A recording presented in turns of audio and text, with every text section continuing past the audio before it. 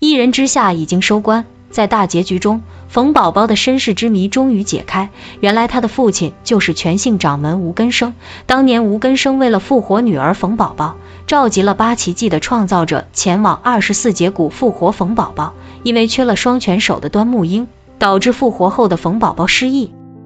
冯宝宝一直在找自己的亲人，只要有人带他去找他的家人，他就跟谁走，导致被人贩子骗走。受尽了磨难，最后好不容易找到了自己的身世，得知父亲是吴根生，没想到又被端木英欺骗，导致被抽走记忆而彻底失去全部记忆。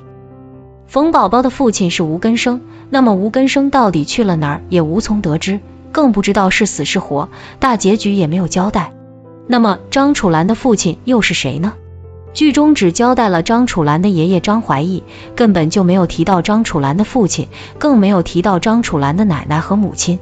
张楚岚的爷爷张怀义这么厉害，那么张楚岚的父亲肯定也是艺人界数一数二的高手。张楚岚的父亲到底是谁呢？没错，他就是张于德。为了躲避觊觎气体源流的三十六贼，张怀义带着儿子张宇德从小搬家。张宇德生了个儿子张楚岚。张宇德丧偶后再也没有娶妻，一直都是失踪状态。剧中全集都没有提到张楚岚的父亲。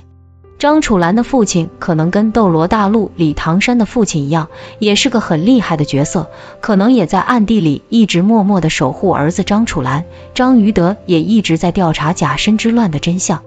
总而言之。冯宝宝的父亲是吴根生，也是失踪状态，而张楚岚的父亲张于德也是失踪状态，可能都跟假身之乱的真相有关。毕竟结局中只是揭开了假身之乱的冰山一角而已。